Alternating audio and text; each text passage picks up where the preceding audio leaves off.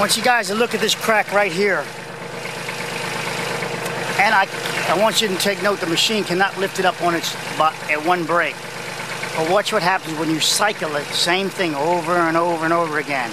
How the cycling causes the separation. So cycling just a little bit each time gets you a millimeter a little bit further down the road each time. And eventually it's able to separate. Think of the cycling that's going on in the in the bridge deck when uh, with that little bit of reinforcement over 40 years and then these uh, cars uh, creating all this cycling and all of them cycle working together. Here we go.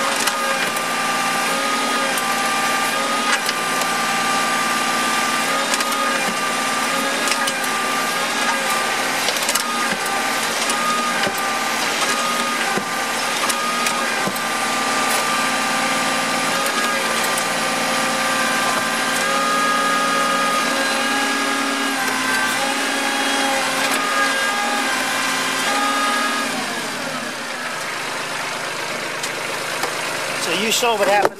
You saw what happened there with all the cycling, and just cycling over and over again, and it broke free. Now that has no reinforcement in it. That only has what about two and a half inches thereabouts in the middle. The concrete, and then a little bit thicker on the edges. This is a driveway, incidentally. I think that crack was already mostly there. This has no crack in it. This pad so it's going to be interesting to, see what's underneath of it. What's underneath this pad. These are already, we'll do this, they'll come apart, turn the machine around, just grab them. These, these sections will be easy. That was a great opportunity to show you cycling. And on this side, as it cycles up and down, you see the compressive forces where, where it blasts out the, uh, the concrete there. Let's see if I can get you down a little lower.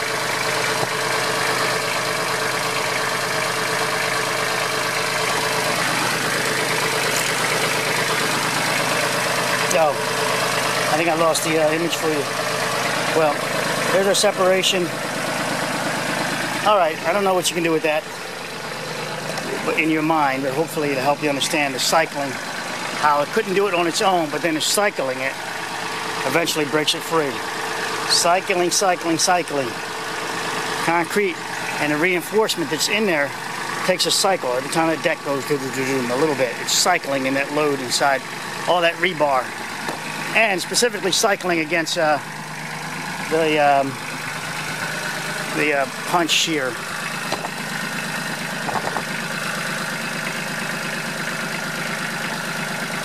Okay, let me show you flexural shear and look at the base here, how it's already tight at the bottom, the very bottom. So there's no separation there. So now I'm going to smash this with a hammer and I'm going to show you how just a little bit of love tap breaks it.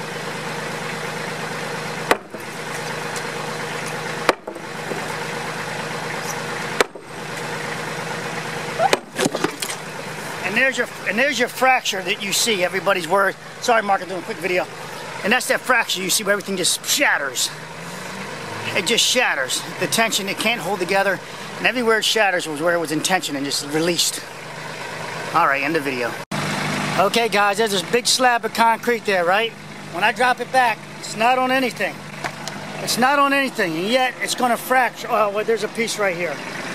So we already showed that one. But this is going to, it's just going to fracture.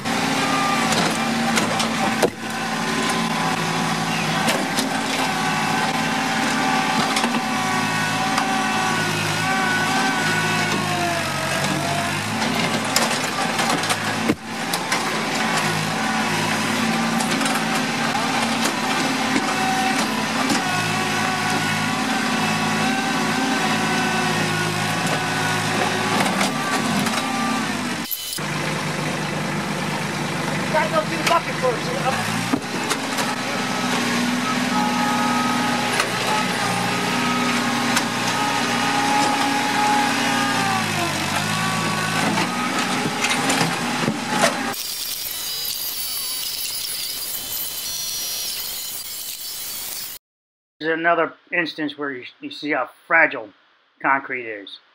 Very fragile. It's not as tough as you would think. It's just, it doesn't have flex ability.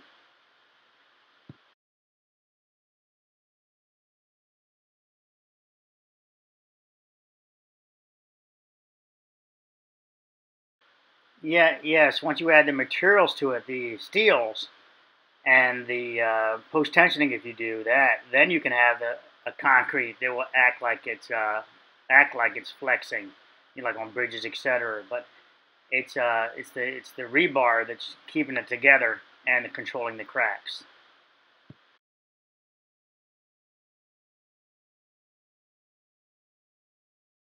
So here I'm showing this uh, young guy, young young guy, how to an overhang cantilever, how you can break fracture concrete using the advantage of its overhang.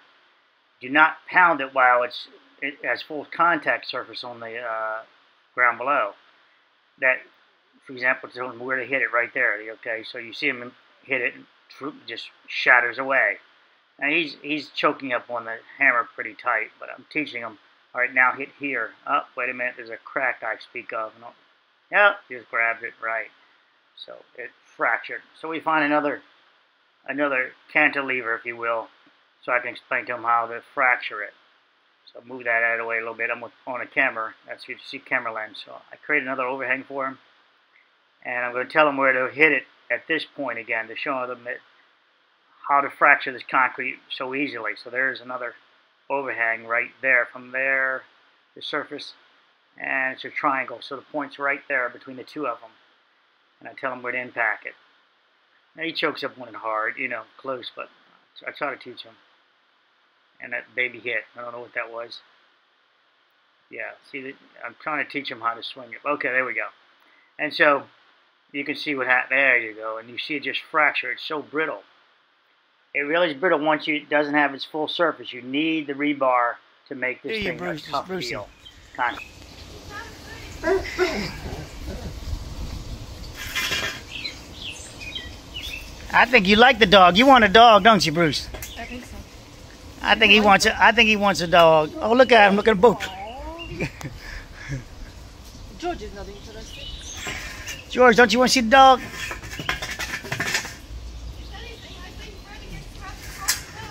Nope, he won't move. Bruce, Bruce is amazing. He, I want. He stands his ground. Look, no, not feared. Yeah.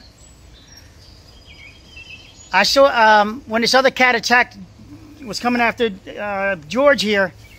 Bruce went running after him and ran him off. That's Bruce. Look at him holding his. This is his property. He says he's he thinks he's a dog or a predator. He thinks he's like a giant lion, I guess. Brucey, you're the giant lion, aren't you?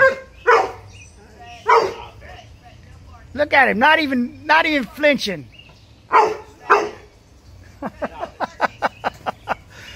Bruce, you're amazing. I've never seen a cat like that before.